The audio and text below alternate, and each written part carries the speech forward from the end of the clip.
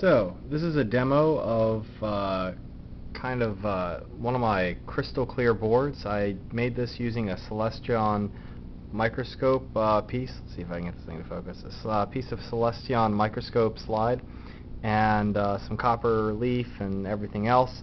And soon I'll be posting exactly how I made it on YouTube. But it is crystal clear. You can see straight on through it. Whoa!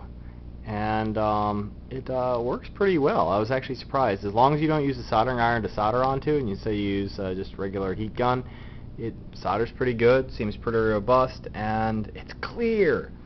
So what I'm going to do is I'm going to hook this up now. So I just simply plug this in. Doop. This is my uh, micro tiny ISP programmer thing. It's basically Lady Ada design minus some parts and uh, super miniaturized. And so all I have to do is I have my AVR code there on the left, and if I just type in make, it goes and it programs it.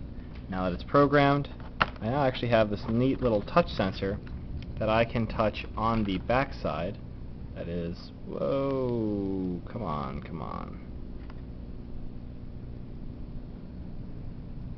Touch on the backside here, and it lights up. So if I just hold it, whoa. And I'm touching it through the glass and it's detecting through the glass.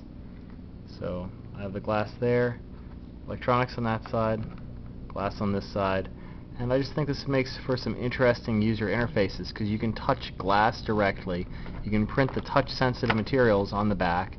This is using one of the dual zone ones so you can actually tell where the user is clicking between the two all the way from uh, kind of purpley to blue to cyan to green to yellow to red and um, I don't know, I'd be interested in seeing what you guys think. I'll be posting how to build these uh, sometime soon.